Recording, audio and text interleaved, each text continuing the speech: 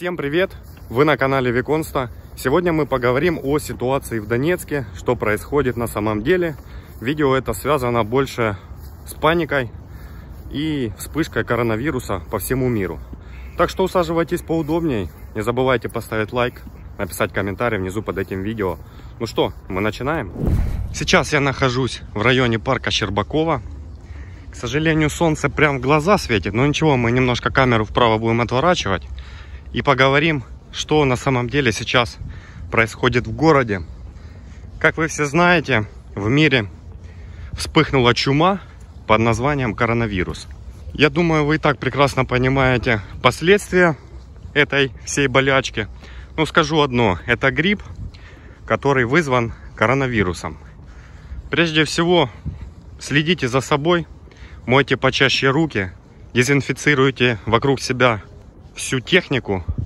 Ну и, конечно, ни в коем случае не прикасайтесь грязными руками к слизистой оболочке глаза, нос, рот, потому что этот вирус передается через слизистую. В сети я вчера нашел пару троек фотографий, да и обсуждения, что в Донецке разбирают все продукты. Связан этот ажиотаж с этим гриппом. Поэтому хочу продемонстрировать что на самом деле сейчас происходит в городе. Что касается блокпостов, то действуют ограничения по поводу въезда лиц, проживающих на той территории, куда они не едут. К примеру, у Васи прописка Донецкая, он хочет попасть в Киев, к сожалению, он в Киев не попадет. Если у него киевская прописка, то в Киев без проблем он проедет.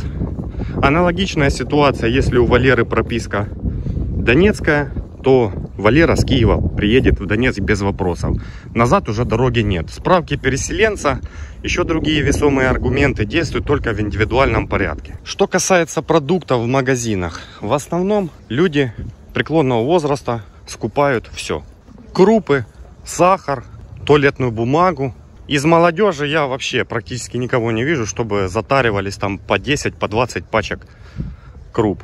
По всему миру мы видим примеры, что в странах Европы прямо аж дерутся за эту туалетную бумагу. Ну, я еще такого не видел.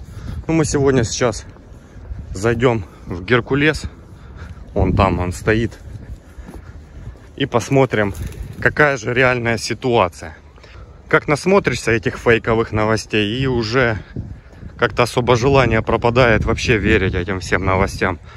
Еще чем вызвана паника, так это, к примеру, Григорию нужно пойти купить пачку риса домой. У него нет, ну, закончилось.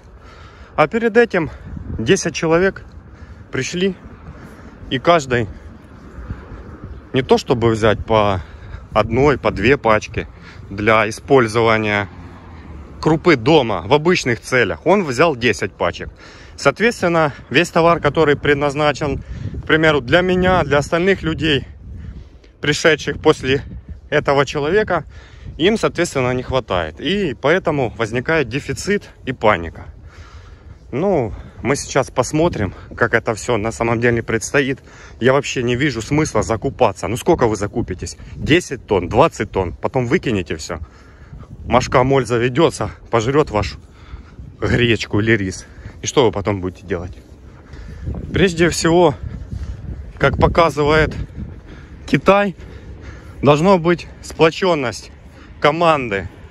Должны быть правильные и четкие решения. Не сделанные они в попыхах и в спешках. А с дуру, знаете, можно такое наворотить, что потом не разгребетесь. Зайдем мы сейчас в супермаркет. Это довольно большой магазин. Ну и посмотрим, какая там обстановка с продуктами первой необходимости. Ну, как видите, вся парковка заставлена. Так что, друзья, не паникуйте. Все в порядке. Вам еды хватит. Вы все равно все не скупите. Вам будет мало, мало, мало. Но это касается больше людей преклонного возраста. Молодежь хоть как-то в соцсетях понимает обстановку. Где фейк, а где выдумки. Поэтому сейчас зайдем и глянем, что там в реальности творится. людям, которым действительно нужно купить что-то, они не купят, потому что все разгребли из-за этой чертовой паники.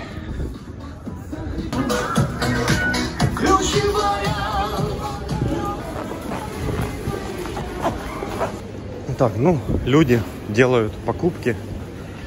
Здесь овощи, фрукты есть, все. Без каких-то проблем. Апельсины. Но мы на каждом виде товара не будем зацикливаться. Смысла нет. Кому интересно, вы можете плейлисты открыть. И там посмотреть все интересующие вас продукты. Мы сейчас пройдемся на крупы.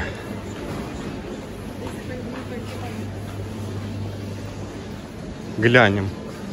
Соки есть. Вот консервы стоят. Здесь овсянка. Каша.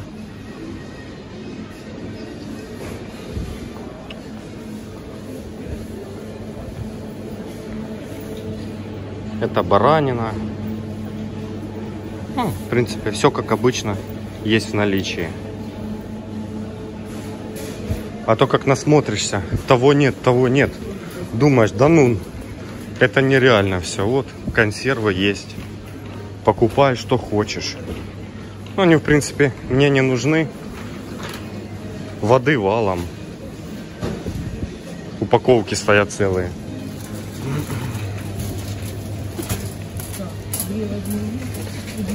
Вот там, видел, берут. Вот макароны разгружают. Ну, полки полные.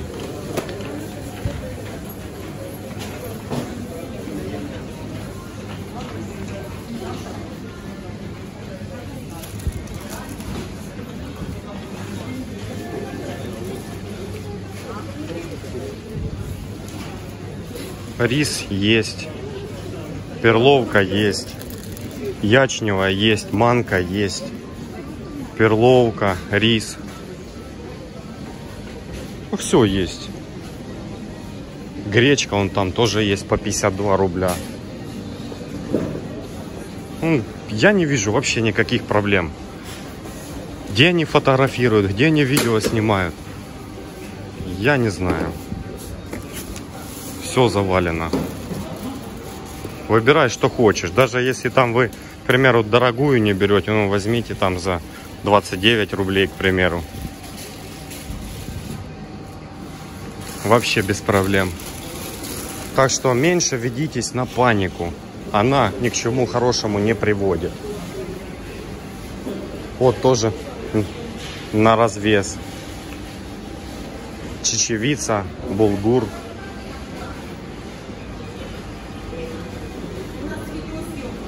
Конечно, а что она запрещена? Открыто людям показывают, что продукты есть в наличии. Конечно. Что, 21 век на дворе. А то люди паникуют. Нет. Продуктов. Ну, то уже бывают такие единичные случаи. Вообще все есть в наличии. Без проблем. Покупайте, что хотите. Что касается хлеба, хлебобулочных изделий, тоже все есть.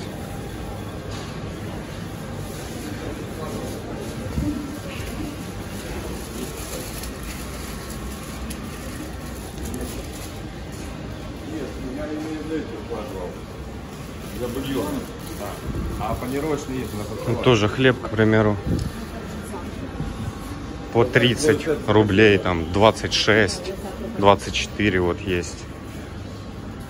18 батон. Так, ну по алкоголю мы проходиться не будем. У нас цель продукты показать, что все есть в наличии. Даже для особо таких паникеров есть продают даже сахар, муку в мешках. Да, это у нас мука. 215 рублей за 10 килограмм. Ну, колбасы тоже висят, все завалено. Так что это все, друзья, не соответствует действительности. Да, есть определенный спрос. Люди переживают, думают, что не хватит, но чем больше вы будете наводить панику, тем больше у вас будет проблем. Надо все делать четко, ровно. И тогда не будут последствия. Ну, я думаю, смысла больше нет показывать вам. Основные товары я показал. У нас не ценовой влог. Цены, я думаю, вы и так прекрасно все знаете. Очереди на кассах есть. Ну, конец рабочего дня, люди после работы делают покупки. Это все закономерно.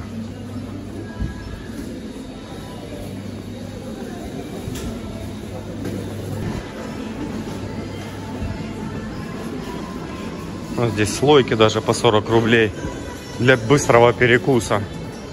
В принципе, все, что хотел, то я вам и показал. Друзья, будьте всегда внимательны, не поддавайтесь панике, также не поддавайте других людей панике. Все будет нормально, как-то это все дело переживем. С вами был Виконста, до новых встреч, пока-пока.